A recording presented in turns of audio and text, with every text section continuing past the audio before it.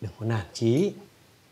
Một lần thua Không có nghĩa là con không thể thắng được trong những trận đấu tiếp theo. Không phải thua một lần Mà chưa thắng lần nào ạ. Con thi đấu chuyên nghiệp đã mấy năm rồi còn gì. Nhanh thật đấy. Bố con mình lên đây 4 năm rồi đấy. Thế mà đến bây giờ Thành tích cao nhất của con chỉ là tấm huy chương bạc trong nước này Con còn chưa được chọn vào đội tuyển quốc gia Để thi đấu Olympic hay là SEA Games. Bố có nghĩ Con là đứa thất bại không ạ? Người bỏ cuộc mới là kẻ thất bại. Con vẫn đang nỗ lực hết mình vì đam mê.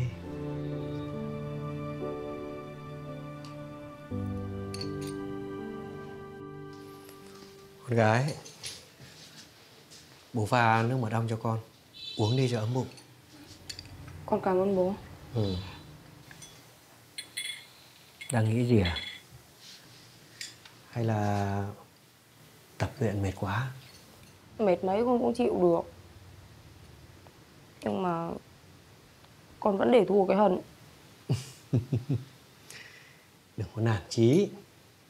Một lần thua Không có nghĩa là con không thể thắng được trong những trận đấu tiếp theo. Không phải thua một lần Mà chưa thắng lần nào ạ. Con thi đấu chuyên nghiệp đã mấy năm rồi còn gì. Nhanh thật đấy. Bố con mình lên đây 4 năm rồi đấy. Thế mà đến bây giờ Thành tích cao nhất của con chỉ là tấm huy chương bạc trong nước này. Con còn chưa được chọn vào đội tuyển quốc gia Để thi đấu Olympic hay là SEA Games.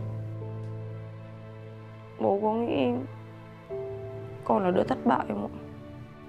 Người bỏ cuộc mới là kẻ thất bại. Con vẫn đang nỗ lực hết mình vì đam mê. Sao lại nói là thất bại được? Con không muốn bố thất vọng vì con. Nhưng mà Cho dù con có được huy chương vàng hay không Con vẫn là niềm tự hào Là cô gái vàng của bố.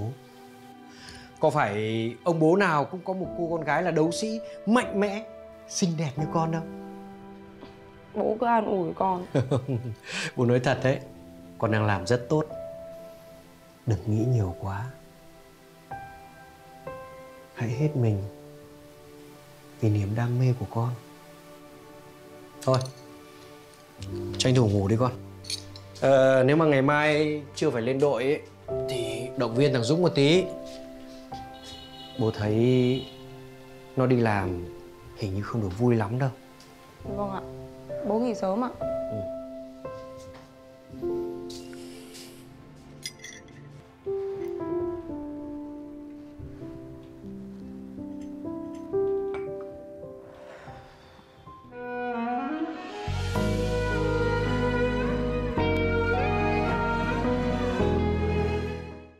Thế cháu làm việc ở đâu chưa? À, mẹ cháu xin cho cháu về xã làm. Thế à? Vâng. Cô cũng đang chạy ngược chạy xuôi để xin việc cho em nó đấy. Cái Hương nhà cô ấy, nó chỉ có cái bằng trung cấp thôi. Nên cô cũng muốn xin cho nó làm công việc văn thư ở xã. Vừa nhẹ nhàng, lại còn gần nhà. Cô cũng nghe nói à, phòng dân số kế hoạch hóa gia đình của xã ấy có tuyển một suất. Nhưng mà không biết có đến lượt cái Hương nhà cô không? Ơ, đúng chỗ cho được nhận đấy ạ. Thế à? Vâng. Thảo nào, hôm trước ấy, mẹ cháu nói chuyện, cháu sắp về xã làm việc, hóa ra là ở chỗ đấy hả? Vâng. Này. Dạ. Cháu chạy cửa nào đấy? Mách cô với, được không? Được. Để tình cô là hàng xóm láng giềng, lại còn là khách hàng thân thiết của mẹ cháu. Cháu sẽ chỉ cho cô cách, nhưng mà cô nhớ, cô phải giữ bí mật đấy nhá. Ừ, cô hứa, cô sẽ không nói với ai cả. Cháu... Anh em gửi đồ uống của anh ạ. Ờ, anh xin. Anh có muốn dùng mì luôn không ạ? Ờ, thôi thôi thôi, tí anh ăn sau nhá. Cháu uống nước đi. Vâng.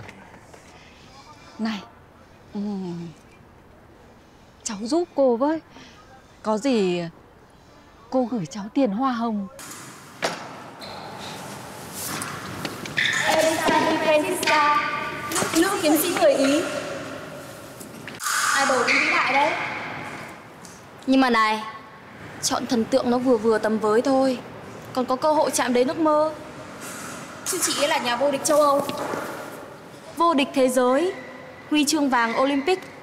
Mãn kiếp cũng không làm được đâu. Đừng có tùy tiện đụng vào đồ người khác. Thế ai là người tự tiện xíu vào chuyện của tôi. À không Chắc là cô có ý định khác có dám nói ra không Ừ?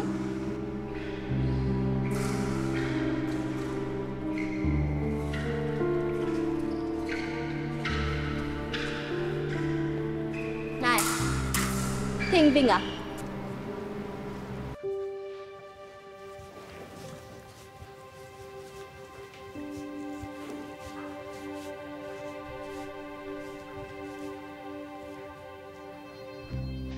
Cậu đã từng làm ở đây rồi. Tại sao một bản báo cáo kinh doanh đơn giản như thế này mà cũng không soạn được? Chi tiết bao nhiêu là lỗi? Dạ Em xin lỗi ạ. Em sẽ làm lại ạ. Cậu nghĩ là tôi có đủ thời gian để đợi cậu làm lại à? Em xin lỗi ạ. Vì em vừa có cuộc họp đột xuất với Amas. Đã là nhân viên của tôi Thì phải hoàn thành được nhiều việc cùng một lúc. Hay là để tôi đặt cách cho cậu chỉ làm một mình job Amas thôi nhá. Dạ không ạ. Em không có ý đó. Em sẽ giúp kinh nghiệm ạ Cậu đừng nghĩ là mình được ưu ái khi thấy sếp Vinh mời về làm. Và rồi ảo tưởng rằng mình sẽ được o bế Để công việc thuận lợi hơn người khác. Còn lâu!